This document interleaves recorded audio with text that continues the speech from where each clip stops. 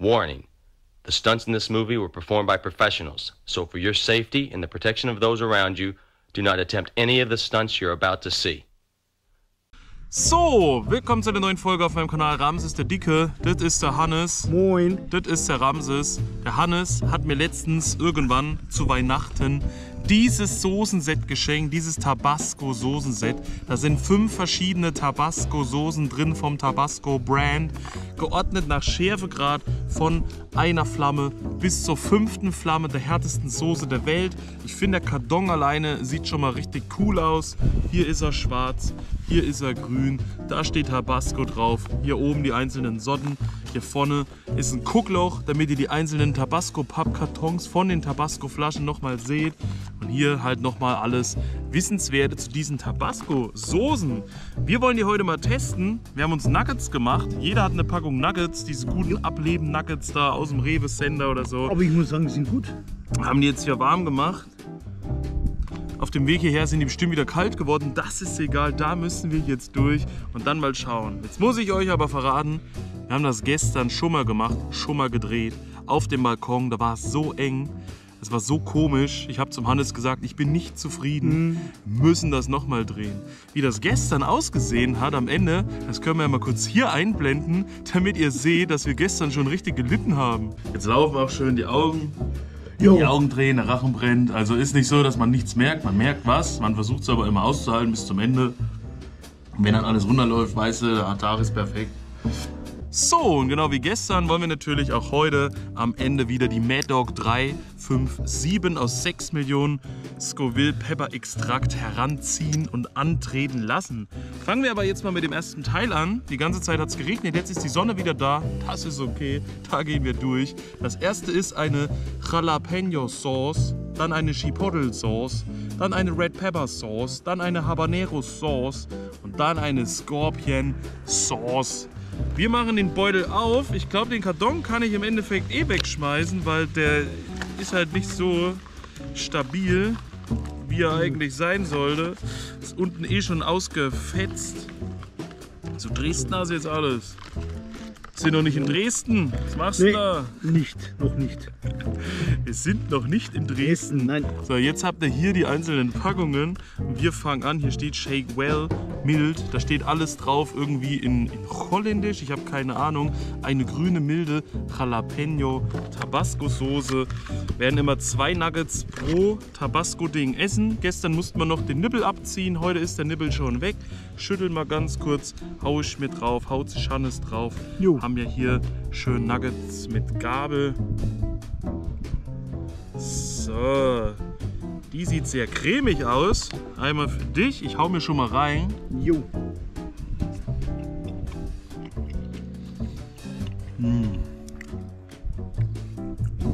Schön mild für den Anfang, richtig genial. Wir haben heute auch noch nichts gegessen. Aber Es ist das erste, ich glaube, es ist gleich 16 Uhr, wenn es so weitergeht. Das ist die erste Mahlzeit, die wir heute zu uns nehmen. Und man merkt halt trotzdem eine sehr prägnante Essignote. Und diesen typischen Jalapeno-Geschmack, den man hat. Ja. Und es ist angenehm, man kann es so einfach essen. Ich habe Angst, Mann, ich muss so rummachen. Ich habe nämlich Ja, Angst, wenn die Soße drauf tröpfelt, dass die so schwer ist, dass das das Nugget einfach von der Gabel runterschiebt. So, also von der könnt ihr euch richtig gut gönnen. Die gibt es ja, glaube ich, auch ganz normal im Handel. Im Rewe standen die immer rum. Die rote und die grüne sind wohl die, Ja, äh. die am meisten irgendwie im Umlauf sind, sagen wir mal. Bei uns im Rewe ist sogar so, da gibt es die grüne irgendwie gar nicht mehr. Da steht nur noch die ganz normale rote. So, das war die Jalapeno Sauce. 1 von 5 Schärfe. Finde ich angenehm, finde ich gut. Guten Hunger. Sauber, die Wespe nicht mit esse.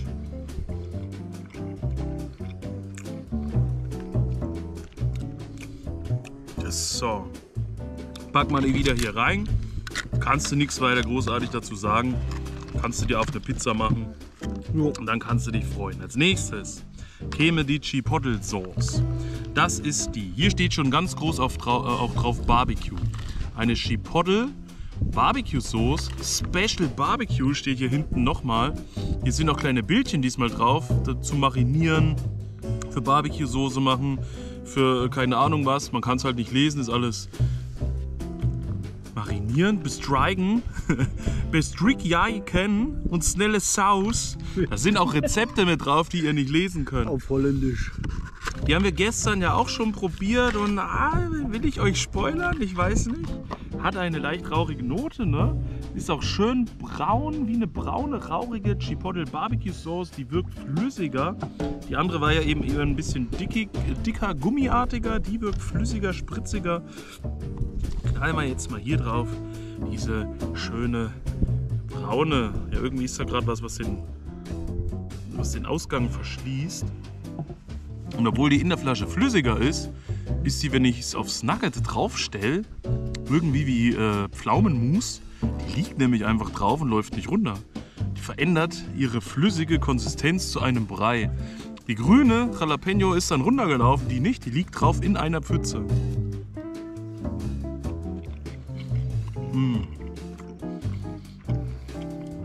Die ist halt einfach nur genial.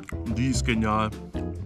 Die ist richtig genial. Die müsste schärfer sein wie die erste, aber ich merke von Schärfe jetzt absolut gar nichts mehr. Nee, nee. Meiner Meinung nach ist sie genauso scharf wie die erste, deswegen merkt man keine Steigerung. Und jetzt so eine schöne rauchige Note gerade. Ja, ja, richtig. Hier ist auch der Essig nicht so präsent. Das heißt, die lecker auch für einen Barbecue-Burger oder irgendwas, eine Chipotle, Ja. rauchige Barbecue-Sauce, das ist richtig stark. So sieht's aus. So, hier ein zweite Nugget. Prost. Prost. Kommt hier rein. Steht auch nochmal drauf hier oben. Smoked Tabasco. Damit ihr auch das Etikett nochmal seht. Von der Smoked Tabasco. Finde ich gut. Also, wenn ihr die kennt, dann schreibt es mal rein. Bin mal gespannt. Vielleicht habt ihr die ja trotzdem schon mal entdeckt, schon mal getestet. Als nächstes käme die Red Pepper Sauce. Das ist eigentlich der große Bruder von der normalen Grün. Weil das ist die, die im Rewe auch mit am häufigsten ist. Ja. Oben steht Koken mit Tabasco. Wie du also mit Tabasco kochen kannst. Sind ein Bildchen drauf hier von einer Pizza. Da ist eingekreist, wo überall ein Tropfen Tabasco drauf ist. Das müsste die sozusagen, sagen wir mal, Original Tabasco Soße sein, die jeder kennt. So kennt man Tabasco. Äh, einfach rot. Hauen wir uns jetzt auf das nächste nackige Nugget. Nackig Nugget. Jawohl. Ich glaube, da hat man aber eine Stärkerung der Schärfe gemerkt. Ja, da ist dann die äh, angestiegen. Die wirkt halt wieder flüssiger, sodass sie gleich wieder runterlaufen könnte. Da ist bestimmt wieder mehr Essiganteil.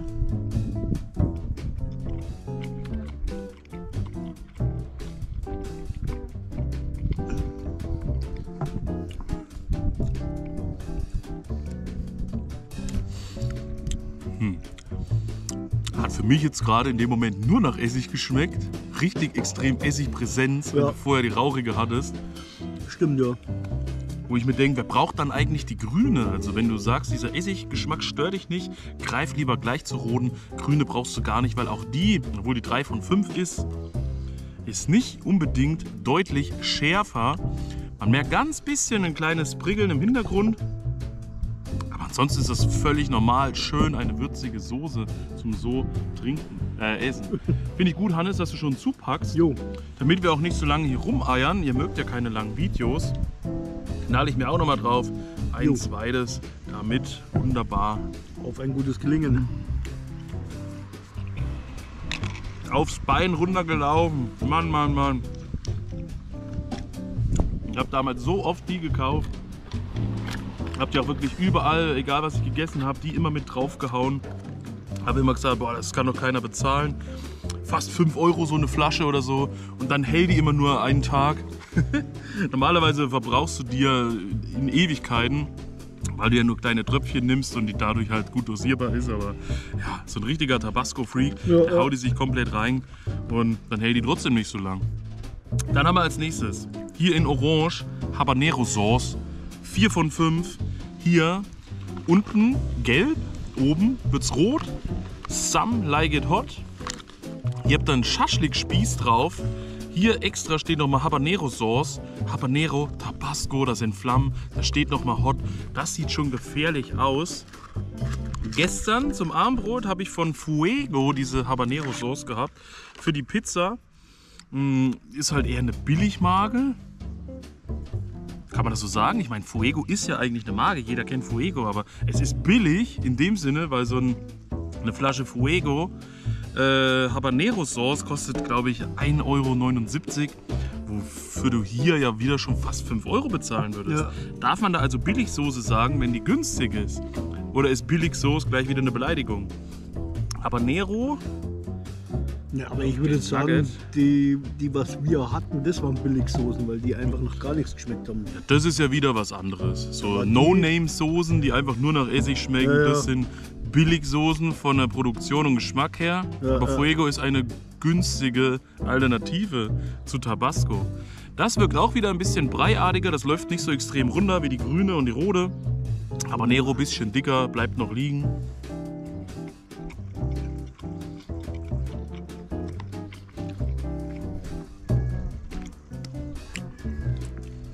Eine Schärfesteigerung merke ich jetzt auch gerade nicht unbedingt, aber einen irgendwie angenehmen Geschmack Ja, ohne dieses extreme Essig-Feeling.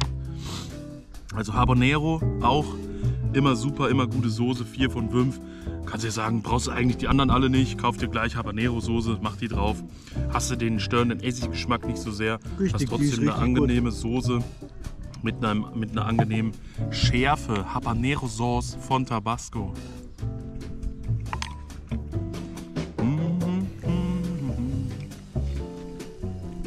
Sieht halt hier auch sehr edel aus, weil gerade hier oben um den Hals, dieses Grüne ist so, ähm, ja, so metallisch, so metalliertes Grün, wenn man das so sagen kann. Jetzt bleibt genau noch eine übrig. Das ist, glaube ich, die Lieblingssoße vom Obibo. Die Scorpion Sauce. Mit Scorpion Chili. Extra hot in schwarz. Extra hot Scorpion peppers mixed with your Tabasco sauce for a seriously hot taste. Scorpion hot, the hottest sauce in our Tabasco brand family of flavors. Extra hot pizza. Make everything better. Das sieht gut aus mit den großen Bildchen. Jo. Das ist die einzige, wo das Wort Tabasco auf der Seite steht, ganz groß. Hier auch nochmal Make Everything Better. Hier oben drauf, unten Strichcode. Dann, wie gesagt, habt ihr hier die Flasche nochmal abgebildet und hinten noch ganz viel Text. Schwarz, das so stehen, wirkt auf jeden Fall schon richtig brachial. Jetzt habe ich aber ein Problem, was ihr gleich merkt. Die sieht auf jeden Fall, ja, die andere rote war irgendwie mehr durchsichtig. Die sieht auch schon wieder irgendwie cremig aus. Breiiger, hellrot. Das müsste die schärfste sein. Da musst du jetzt eine Steigerung merken, sonst macht das ja alles keinen Sinn Ja, tust dich hier drauf. Es lässt sich gut dosieren. Es läuft nicht einfach raus. Es ist trotzdem wieder ein bisschen zusammenhängend. Also eine leichte Art Brei. Was mir sagen würde, dass vielleicht auch der Essiganteil nicht so groß ist. Und deswegen läuft das nicht so extrem. So, es riecht schon so wie Spülmittel. nur. Hauen wir mal rein. Einen guten Hunger. Prost.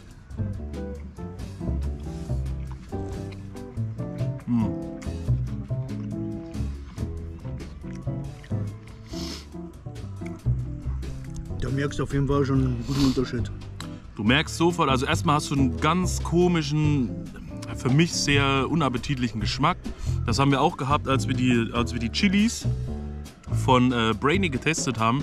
Der hat uns ja auch Habaneros zugeschickt zum Testen, Chilischoten. Der hat auch die Stendalato dabei gehabt. Wir hatten die äh, Carolina Reaper Chilis so. Gerade die Thai Chilis und andere beim Reinbeißen, die haben so einen seifenartigen Geschmack gehabt. Ja, Sehr komischer Stoff, alles dabei. Schärfe war meistens dann erstmal okay, aber dieser seifige Geschmack hat halt immer irgendwie total weird geschmeckt, wo man denkt, muss das so sein. Dieser Seifengeschmack ist hier halt auch mega präsent. Es ist die schärfste Soße von den fünf. Das merkt man. Es bitzelt alles, es brennt alles im Nachhinein hin und her. Aber dieser Seifengeschmack ist für mich absolut gar nichts. Das heißt, alle anderen fand ich geschmacklich besser. Das ist die schärfste, aber das ist die, die mir gar nicht schmeckt. Leider. ja das Seifige halt einfach.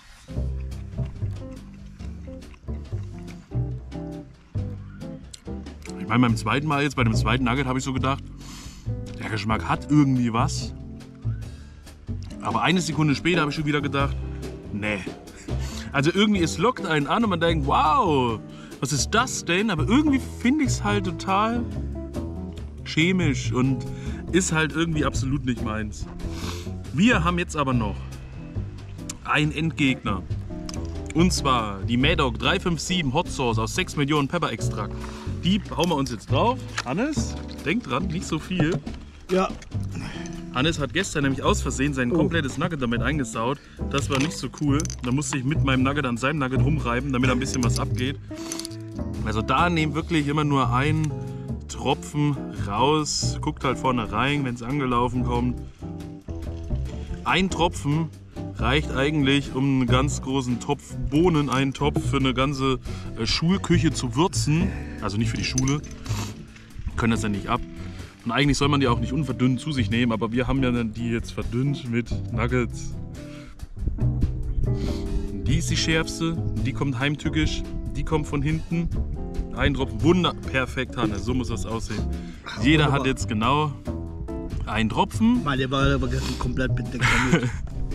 Wenn ich noch Aufnahmen davon habe, versuche ich es noch ja, reinzuschneiden, genau so. wenn man ja. das gesehen hat. Die ist eigentlich geschmacksneutral, weshalb man die so gut nehmen kann, um Speisen zu würzen. Aber ich weiß nicht warum. Ich sag's immer wieder dazu, wenn wir die essen, die hat plötzlich so eine pflaumige Winternodengeschmack. Angenommen, wenn du die isst, dass du erstmal nur so einen Wintergeschmack hast, direkt keine Schärfe. Und dann plötzlich kommt die Schärfe an und, und dann merkst du das richtig. Und die kann dir auch schön dick, fett äh, Magenkrämpfe beschweren. Ja gut, zum Glück habe ich die jetzt gestern nicht Schwer, gehabt, aber es ging.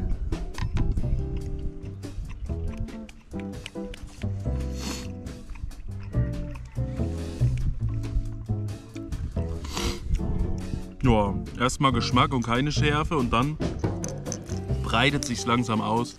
Dann kommt das langsam durch und macht noch was. Aber de definitiv jetzt, jetzt ist es besser als gestern. Ja, es auch weniger ist und überhaupt. Wir haben jetzt beide noch zwei Nuggets übrig. Hannes hat gestern schon Oh, ja. gesagt, sein Liebling war die Chipotle mit dem rauchigen Geschmack. Das heißt, wir werden die letzten zwei Nuggets jetzt nochmal mit der Chipotle essen, Ist weil uns gut. die am besten geschmeckt hat. Ich hau mir kurz drauf, du haust dir drauf, dann beende ich das und Jawohl. So, die ist auch schön. Oh, die liegt halt so gut auf. Das finde ich richtig toll an der. Mm.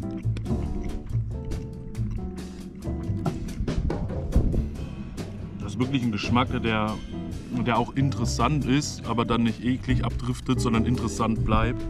Ja. Man eigentlich gleich noch eins machen möchte. So. Wie sieht's bei euch aus?